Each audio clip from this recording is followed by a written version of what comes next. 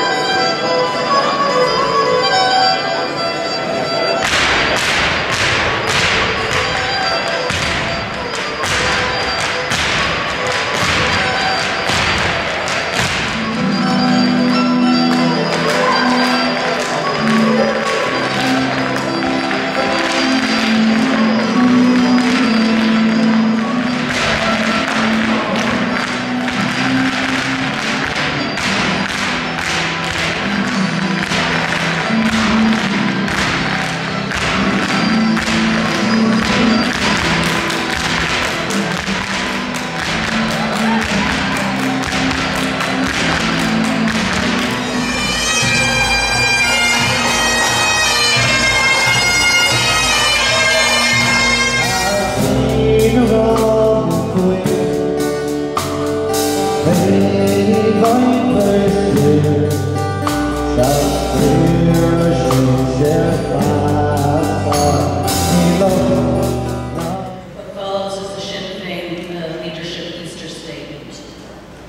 this, the 93rd anniversary of the 1916 Rising, the leadership of Sinn Féin extends its solidarity to the families of all our patriot dead.